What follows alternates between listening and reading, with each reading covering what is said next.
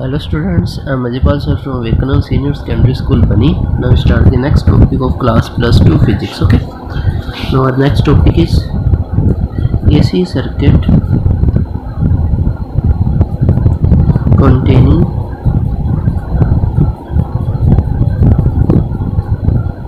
capacitance only.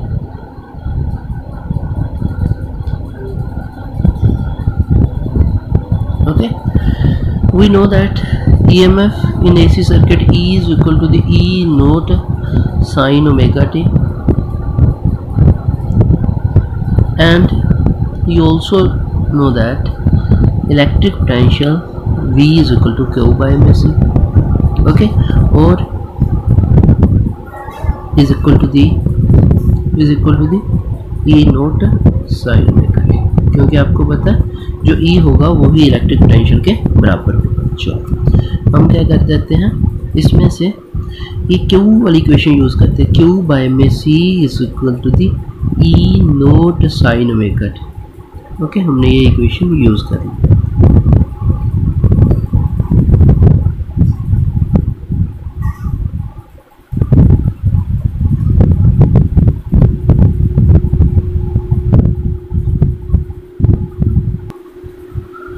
Okay तो हमने ये इक्वेशन यूज़ कर ली क्यू बाई में C is equal to E naught sine omega T फिर Q is equal to the C E naught sine omega T यहाँ से Q किसके equal हो जाएगा C E naught sine omega T के बराबर होती है ओके चलो let start you know that I is equal to D Q by में डी टी ये होता है चलो अब इस आई बनाने के लिए हम उस टर्म का इंटीग्रेशन करते हैं इस टर्म का इंटीग्रेशन करते हैं ओके इंटीग्रेशन करने से पहले सबसे पहले हम इसका डिफ्रेंशिएट करेंगे ओके क्योंकि हमने डी बाई में डी करना ना तो पहले इसका डिफ्रेंशिएट करते चलो डिफ्रेंशिएट इक्वेशन फर्स्ट तो हम क्या करेंगे जब हम इसका डिफ्रेंशिएट करेंगे हमारे पास आ जाएगा डी क्यू बाय में D T is equal to D by में D T C E naught sine में इकट्ठी आ जाएगा ये आ जाएगा हमारे पास ओके तो सी आपको पता ना कैपेसिटेंस है यहाँ पे ये याद रखना चलो अब यहाँ पे डी के ऊपर में टी टी आई होता है आई लिख लिया ओके तो यहाँ से हमारे पास क्या आ गया ये देखो इसको हम और क्या लिख सकते हैं डी बाई में D T C E naught sine में कट है इसको मैं डेरिवेटिव करूँगा तो सी ई e नोट बाहर आ जाएगा साइन का डेरिवेटिव होता है cos omega T into omega आ जाएगा ये आ जाएगा चलो ये आपको समझ आ गया अब आई इज इक्वल टू यहाँ पर क्या है ई e नोट ये सी है और ओमेगा है इसको मैं वन बाय में ओमेगा सी लिख सकता हूँ क्योंकि बात तो वही है ना ओमेगा सी ऊपर चला जाएगा ओके चलो कोस ओमेगा टी को मैं लिख सकता हूँ sine omega T plus pi by में टू ये आपको पता है ओके कोस जो होता है साइन थीटा प्लस नाइन्टी होता है ओके तो ये हमारा कॉन्सेप्ट यहाँ तक हो गया नेक्स्ट हम क्या करेंगे अब वैसे तो हमारे पास यहाँ तक कंप्लीट हो चुका है इस कॉन्सेप्ट अब ये आई हो गया अब ई नोट बाय में one by omega C one by omega C आपको पता है किसकी इक्वल होती है रेजिस्टेंस होती है ये वन बाय ओमेगा सी किसकी रेजिस्टेंस ये कैपेसिटर की तो यहाँ पर आ जाएगा E naught okay sine omega T plus by okay ये क्यों आया क्योंकि आपको पता है ना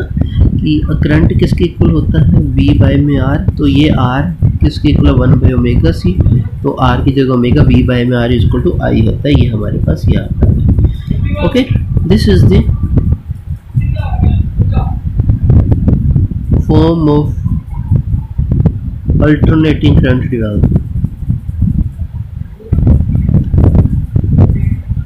इस तरीके से जो करंट अल्टरनेटिंग करंट डिवेल्प होगा किसके अंदर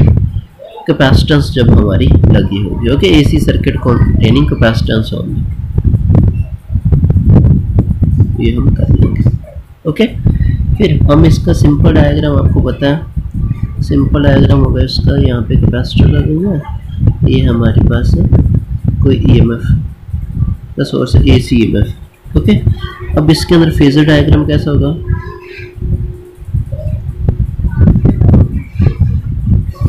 ये इसका फेजर डायग्राम अब आपको पता है यहाँ पर आई है आई नोट है ओके ई e की हमने फार्मूला कर लिया था ना E is equal to the E naught sine omega T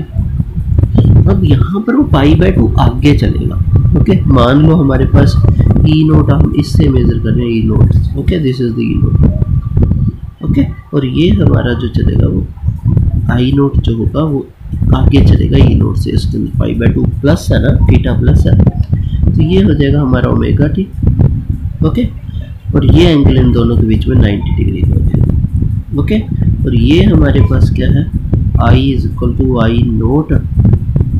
sine omega T plus ninety है ओके और ये हमारे पास क्या है E is equal to E naught sine omega T okay ये हो जाएगा अब क्या करोगे इसको वेव फॉर्म में देखोगे तो यहाँ से वेव फॉर्म यहाँ तक आएगी तो इस तरीके से वेव फॉर्म ओके किसकी है ये ई e नोट की और आई की वेव फॉर्म यहाँ से शुरू होगी ओके यहाँ से शुरू होगी और इस तरीके से आगे चलेगी ओके ये आप आसानी से कर दोगे I hope you understand this concept okay तो हमने जो वन बाई में ओमेगा सी लिया था ना उसको हम एक्स सी भी लिख देते हैं इसको कैपेसिटेंस बोला जाता है कैपेसिटेंस कैपेसिटिव रिएक्टेंस भी है कैपेसिटिव रिएक्टेंस ओके रिएक्टेंस का मतलब एक तरह की रजिस्टेंस होती है ओके तो वन बाई ओमेगा सी को और क्या लिख सकते हो ओमेगा को आपको पता है टू बाई न्यू लिख सकते हो सी आ जाएगा तो ये भी फार्मूला यहाँ से बन सकता है तो I hope you understand this concept आपको आज का कॉन्सेप्ट अंडरस्टैंड हो गया होगा ओके तो ये कॉन्सेप्ट आपने अच्छे से रिवाइज करना है समझना ओके और इसके नोट्स भी प्रिपेयर करना है तो I hope you understand this concept take care stay home stay safe bye